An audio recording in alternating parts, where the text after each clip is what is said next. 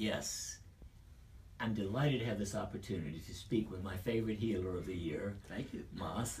The year, he said. well, no, no. Whoever well, is I've only next just, year. I've only just met you this know, year. Just kidding. Just kidding.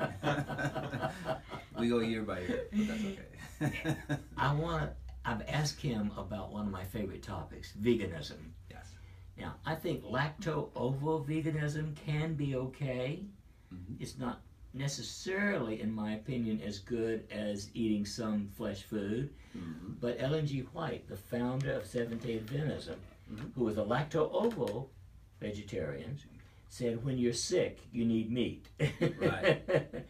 now, my opinion is that veganism is a fetish, and it is a highly neurotic situation.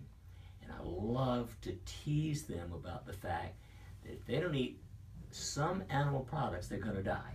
True. And one of those is B12. Uh, I see. B12 is essentially an animal made product. Mhm. And I've seen many vegans very deficient in B12 as well as a lot of others. So Right.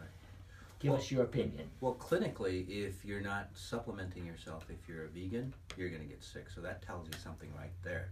Uh, you know, back in the olden days, they didn't have supplements, right? So you had to eat some kind of meat.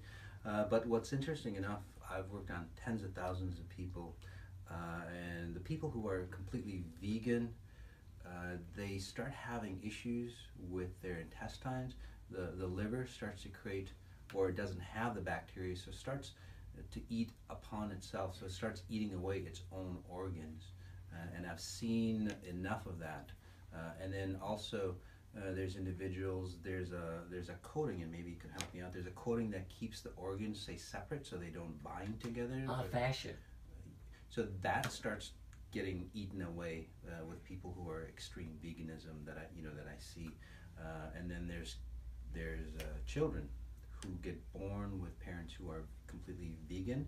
Uh, they start to have a lot of issues, and I've worked on enough kids, uh, babies that they have uh, again a lot of issues, and it always goes back. I go, you know, was your mother vegan uh, when you know she was pregnant with you? And they go, they go yes.